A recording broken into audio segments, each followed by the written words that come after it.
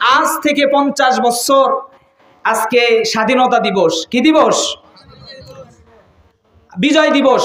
আজকে ষোলোই ডিসেম্বর, বিজয় দিবস। লক্ষ শহীদের বিনিময়ে, এক সাগর রক্তের বিনিময়ে পেয়েছি আমাদের এই স্বাধীনতা। ঠিক কি না? এই স্বাধীনতা আমরা পেয়েছি, আমরা এই স্বাধীনতা অর্জন করেছি আমাদের পূর্ববর্তী আমাদের পূর্বপুরুষরা জীবন দিয়ে এই ছাপ্পান্ন হাজার বর্গ কিলোমিটার আমাদের উপহার দিয়েছে। স্বাধীনতা অর্জনের চাইতে স্বাধীনতা রক্ষা করা কঠিন, ঠিক কি না আওয়াজ দেওয়া বলেন, ঠিক কি না এদের স্বাধীন, কিন্তু আজ পরাধীনতার শৃঙ্খলে মানুষ আবদ্ধ। কি কথা বলেন? সম্মানিত উপস্থিতি, আজ ষোলোই ডিসেম্বর আমি প্রথমেই শুরু করছি।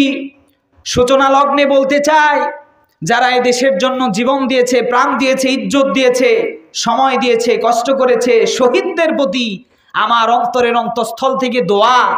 আল্লাহ পাক শহীদদের কবরে আল্লাহ পাক জান্নাতের আল্লাহ পাক নূর পৌঁছায় দিক। বলেন আমিন।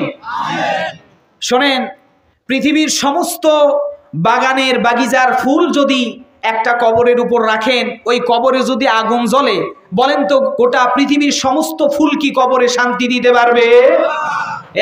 পারবে?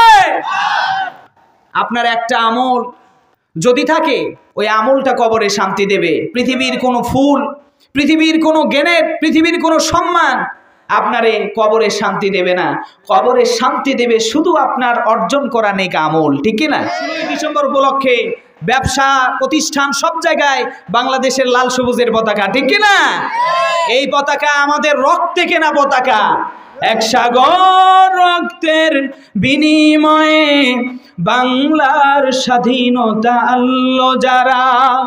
আমরা তোমাদের ভুলব না আমরা তোমাদের ভুলব না। আমরা কি স্বাধীন? এই স্বাধীনতার এই কথা কখনো ভুলে যাব? শোনেন, হুব্বুল ওয়াতানি মিনাল ইমান দেশপ্রেম হলো ইমানের অংশ। সম্মানিত ভাইয়েরা, দেশপ্রেম যাদের অন্তরে আছে, তারা ইমানের ভিতরে আছে।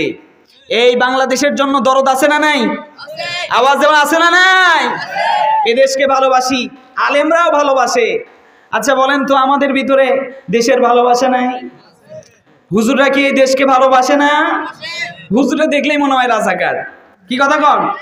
আমার তো সেই সময় জন্মই হয় নাই। তাও সিয়ারা সুরত দেখে কয় রাজাকারের ভাই। কি কথা কন? শোনেন, আলেমরা যতটা ভালোবাসে, এই বাংলাদেশে আড়াই লক্ষ মসজিদ আছে। প্রত্যেকটা মসজিদের হুজুররা দেশপ্রেমের কথা বলে, দেশের কথা বলে, আর সেই হুজুরদের কষ্ট বেশি। এ আওয়াজ আওয়াজ নাই কেন?